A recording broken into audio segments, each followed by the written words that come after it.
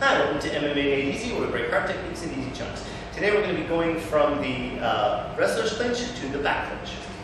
So I'm here. Uh, I probably landed at least one shot here, and then what I want to do is pull so that uh, his arm is going this way versus this way. Okay. If I make him go this way, then he's going to be inclined to kind of move in a circular motion. Whereas what I want is more of a meh motion like this. Now the reason this works so well is if I just hit him here, boom, and then I go like this, chances are he's thinking, oh, I'm gonna hit him again in the same spot, okay? So he's gonna wanna be bringing his arm down like this, okay?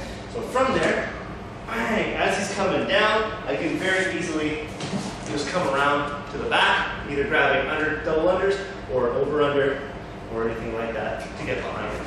Okay? It's a way to collapse their body and take away any of the obstructions.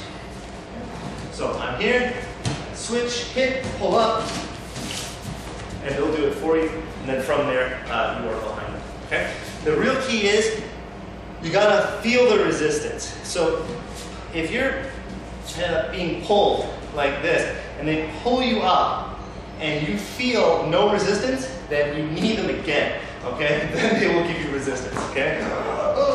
As soon as they do this though, that's when you can very easily bypass and take the back because they're doing it for you. They're doing this Hulkamania. Uh, they're doing this motion for you.